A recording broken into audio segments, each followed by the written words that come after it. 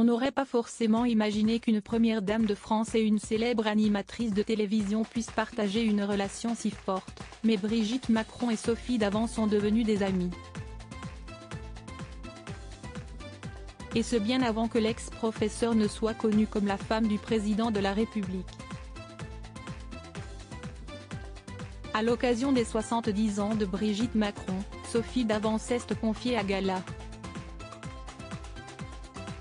FR, et elle nous a raconté qu'elle avait un joli point commun capillaire, ma coiffeuse me fait des effets wavy dans les cheveux, donc ça l'intéressait beaucoup.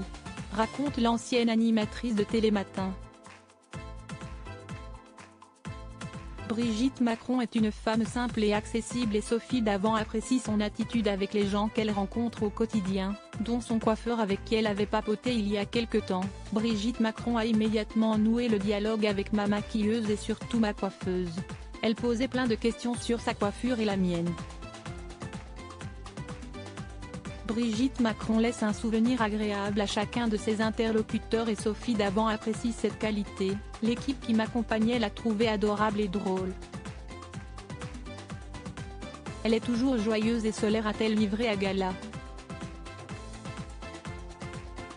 Faire un anniversaire sobre pour Brigitte Macron la première dame qui est habituellement l'organisatrice des anniversaires et des pots surprises pour sa famille et ses collaborateurs, n'a pas souhaité célébrer en grande pompe cet anniversaire.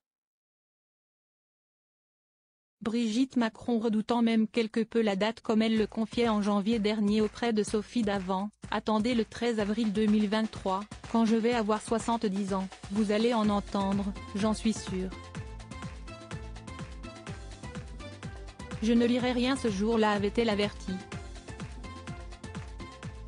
Plus surprenant encore, celle qui était récemment aux Pays-Bas a reçu à l'Élysée des interlocuteurs sur le sujet du harcèlement à l'école comme si de rien n'était, un thème qui tient beaucoup à cœur de l'ancienne professeure depuis de nombreuses années.